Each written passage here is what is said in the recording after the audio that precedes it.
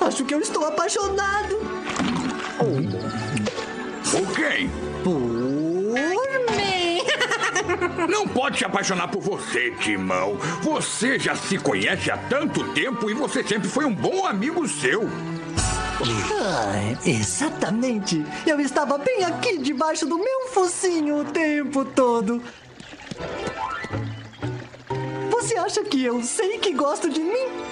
É, Timão, eu acho que devia. Mas serei correspondido. Acha que eu tenho alguma chance comigo mesmo? Bom, é, ninguém pode saber disso melhor do que você, né? Pumba, pergunta se eu gosto de mim, mas não me deixa saber que eu quero saber. Já sei do que preciso. Preciso passar algum tempo comigo mesmo. Bem me quero ou mal me quero? Eu me quero ou mal me quero? Bom, como dizem, o amor é um mistério. Pumba, aconteceu a coisa mais espantosa. Me convidei para sair comigo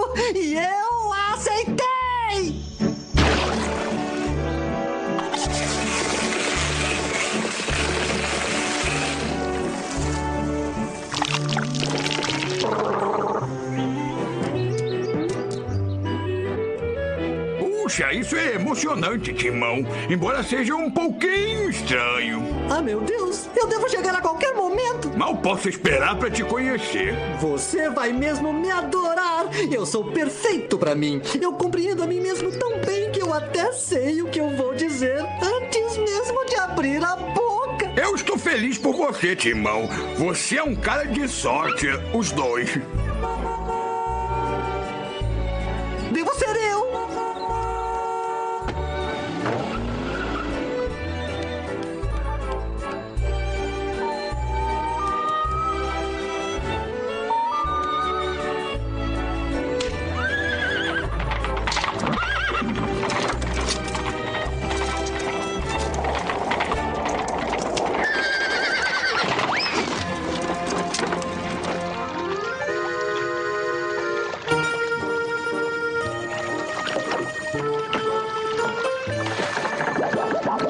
Vai, vai.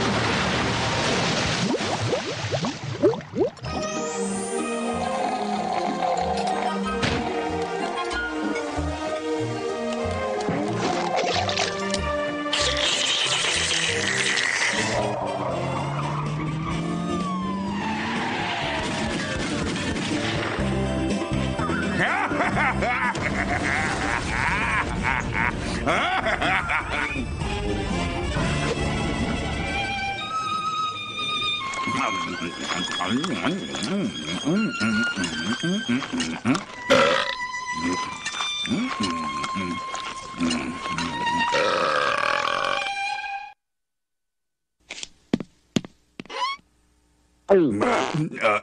Desculpe. Eu acho que foram os caracóis. Entende? Eu tô mais acostumado a comer insetos.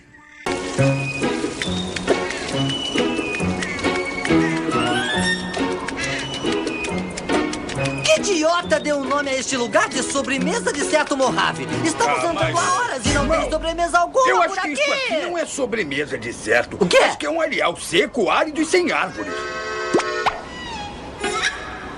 Pomba, pomba, é um deserto. Isto é uma sobremesa de certo. Entenda direito.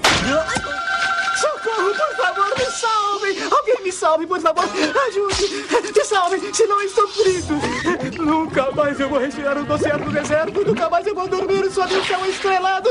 Nunca mais! Nunca mais! Licencinha, vejo que está no meio de alguma coisa areia movediça, pra ser exato. Mas você viu se há alguma sobremesa de certo por aqui? Não há sobremesa por aqui! Isto é um areal seco, árido e sem árvores! Eu disse. Obrigado assim mesmo, amigo. Tenha uma boa vida, ou pelo menos o que restar dela. Oh, Deus, vamos. Vocês não vão me salvar! Ah, Timão, não vamos salvar o pobre coelhinho? Pomba, pomba. Não se pode ficar salvando todo coelho que afunda por aí. Mas é só um coelhinho afundando. Venha comigo, Pomba, que eu te explico. Sabe, um coelho logo se torna dez coelhos, que logo se tornam cem coelhos, que logo se tornam mil coelhos. Estaríamos interferindo no ciclo da vida, cara. Salve! Ei, Pumba, o que está fazendo aí? Primeiro eu ia salvar o coelho, mas agora eu tô afundando na areia morrendo. Por favor, salve a gente. Se não estamos fritos, nunca mais vamos respirar o doce ar do deserto. Nunca Tá, tá, tá, tá, cala a boca e estica uma de suas orelhas, tá? Tá ok? Ótimo. Agora pegue a outra orelha, Pumba. Isso mesmo. Agora segure firme enquanto eu puxo.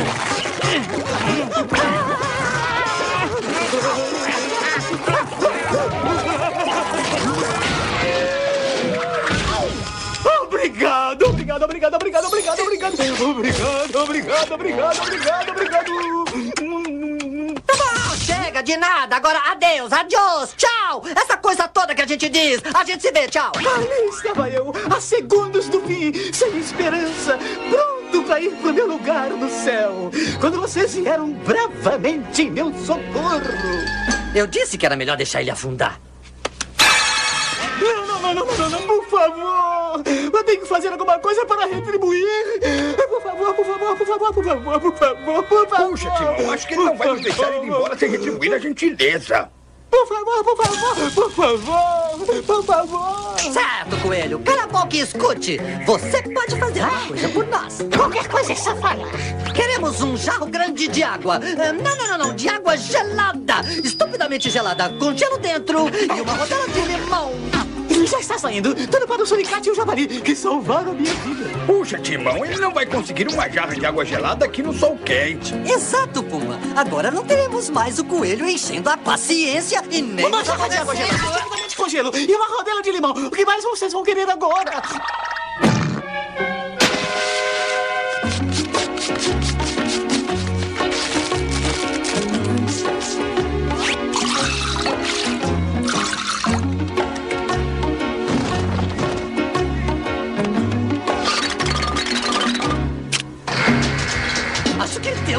Problema aqui.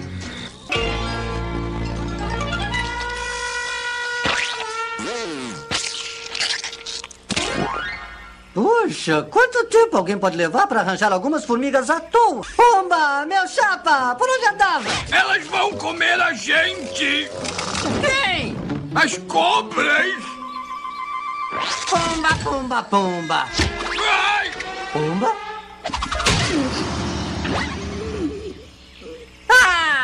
Metri chegou! Agora já tá bem melhor. Escute, meu amigo. Eu vim aqui com um javali, mais ou menos assim, presas bonitinhas, que está sumido. Veja se o encontra. Assim, é, quanto tempo a gente tem que esperar para conseguir umas drogas de formigas? Ora, eu sinto muito. Sabe, o meu garçom-chefe é um empregado recente e, por um engano, colocou o senhor em acomodações comuns. Por favor, me acompanhe até a sala de jantar particular, sim? Hum? Ela é mais sofisticada em suas armações e é muito mais adequada para degustadores de vinhos como o senhor, n'est-ce pas? Sala de jantar particular? Assim é que se fala! Processamento Mas que de comida. boca! Isso só pode ser algum tipo de violação da saúde! Mas, Timão, eu estive tentando dizer a você: isso não é um restaurante. Estou pensando! Legal, a gente tá em pleno Brasil agora e se prepare, meu grande compadre! Aqueles dois compridões, eles não são garçons! Não, São serpentes! não, E eles vão comer a gente! não, Isto não é um restaurante! não, Impressionante como eu descobri isso tudo, não é? Ralph, já arranjei o rabanete a galope. Aqui está o rabanete e aquilo pro galope.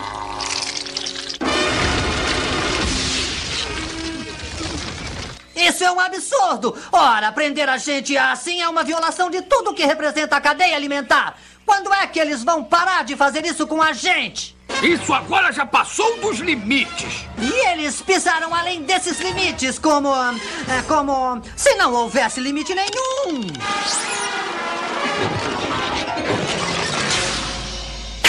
Já sei! Vou usar as mesmas armas! Pra que um cavalo e um rabanete? Eu só queria que o rabanete viesse bem rapidinho.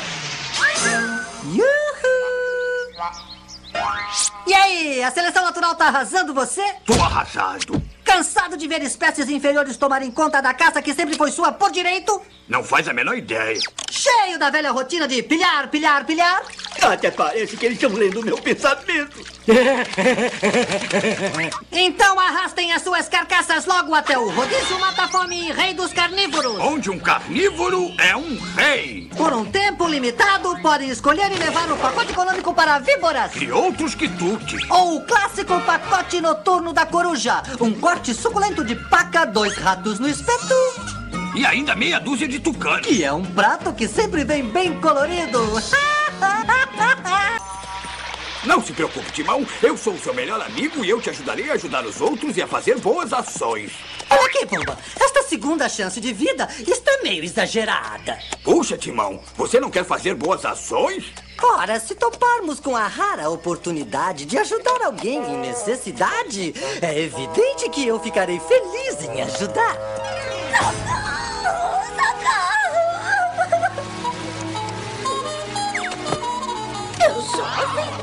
me fazer o favor de me ajudar a atravessar esse rio traiçoeiro? Veja, Timão.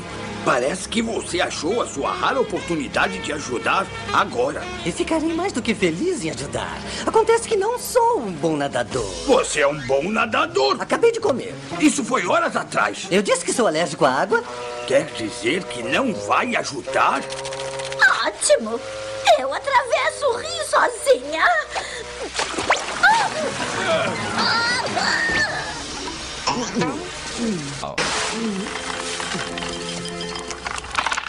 Ah, meu bom jovem, como pode ver, eu estou num sufoco. Poderia me desamarrar desta terrível armadilha? Hum, olha, até que gostaria. É que infelizmente eu pertenço ao. ahn, é, Clube do Não Desamarra Nós. Pertence? Pertence? Se eu desamarrasse esses nós, seria banido do clube para sempre. Seria? Seria? Eles tomariam o meu chapéu para sempre. Puxa. Puxa mesmo. Eu ajudaria, mas olha. Cate. Tá bem, ótimo. Eu mesmo desamarro. Não é a primeira vez que faço isso. Puxa, Timão, olha! Socorro!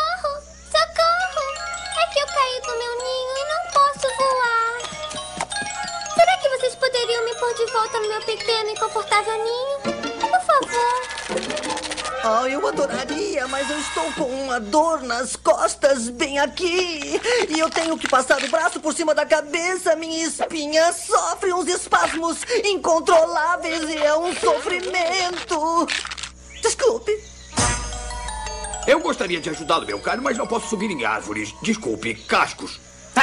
Deixa pra lá. Eu mesmo subo no morro. Ô, dorzinha miserável nas costas. Obrigada, Pumba! Obrigada! Não dá pra crer que ficou olhando enquanto o orfanato pegava fogo. Era um orfanato? Olha, eu estou começando a achar que você não quer mesmo ajudar os outros. Pomba, pomba, pomba. Eu não posso sair por aí ajudando o cara idiota que tropeça num galho, bate com a cabeça, cai em um penhasco e fica pendurado na borda, pedindo ajuda. Acha que posso? Socorro, eu supli! Pomba! Se eu ajudar Pumba, será uma boa ação. E eu morrerei e acabarei no céu com o idiota daquele anjo. Mas se não ajudar o Pumba, bom. Eu vou cair e morrer! Ou será ele ou eu? Ô, Timão, eu não quero te afobar, mas por que está demorando tanto? Aguenta aí! O Timão vai te salvar!